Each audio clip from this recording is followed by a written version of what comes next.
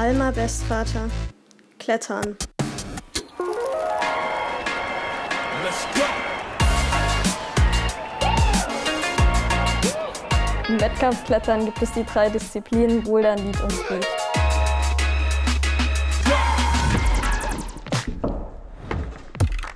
Das Bouldern ist die Disziplin, bei der man nicht so hoch klettert, nicht das, wo man ein Seil und einen Gurt braucht, sondern man ist tatsächlich einfach frei an der Wand und als Sicherung dienen eben die Matten, die drunter liegen. Der Schwierigkeitsgrad der Boulder ist wahrscheinlich bei jedem Wettkampf relativ ähnlich, solange das jetzt eben ein Weltcup ist, dann national wahrscheinlich ein bisschen leichter.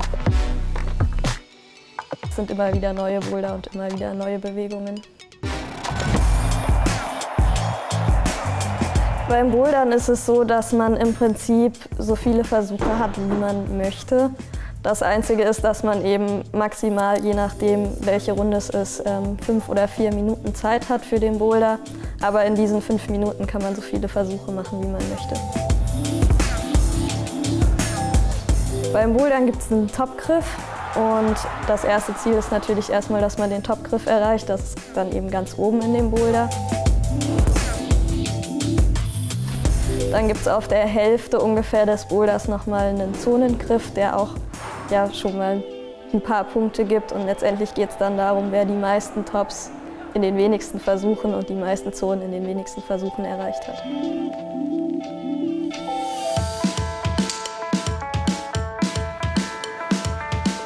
Das Speedklettern ist dann das, was immer an derselben Route stattfindet.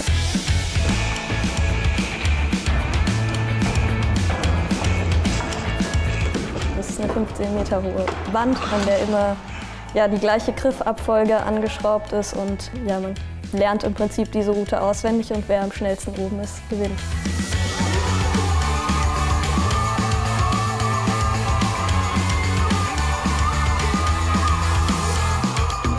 Natürlich muss man erstmal die Griff- und Trittabfolge lernen und die Bewegungen einschleifen. Aber dann kommt es wirklich nur noch darauf an, möglichst schnell da durchzukommen und eben nicht abzurutschen. Beim Speedklettern gibt es unten so ein Pad und oben ein Pad. Und quasi, wenn man mit dem Fuß unten das Pad verlässt, dann läuft die Zeit. Und wenn man oben wieder anschlägt, dann endet sie halt. Wenn man beim Speedklettern so direkt den Gegner neben sich hat, ist das irgendwie ganz anders als in den anderen Disziplinen, weil bei den anderen Disziplinen ist man eben immer alleine für sich an der Wand. Und ja, das ist dann irgendwie nochmal bisschen speziell und klar, man sieht aus dem Augenwinkel, wo der andere ist und das kann anspornen, das kann aber auch nervös machen.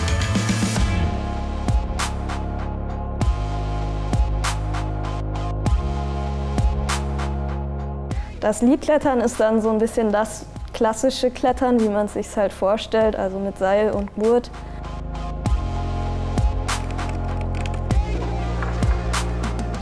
Da sind die Wände auch immer so 15 bis 20 Meter hoch und es geht im Prinzip darum, wer eine schwere Route am weitesten nach oben kommt, im besten Fall natürlich bis ganz oben.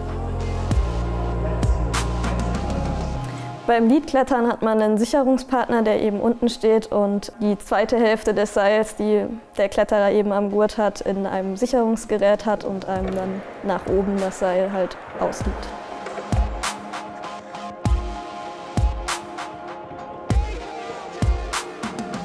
Man hat für eine Lead-Tour maximal sechs Minuten im Wettkampf, aber die Zeit wird relativ selten ausgeschöpft. Sobald man eben den Boden einmal verlassen hat, zählt der Versuch und wenn man fällt, dann ist es schon direkt vorbei. Im Prinzip kriegt da jeder Griff eine Zahl und dann wird halt gezählt, bis zum wievielten Griff man gekommen ist.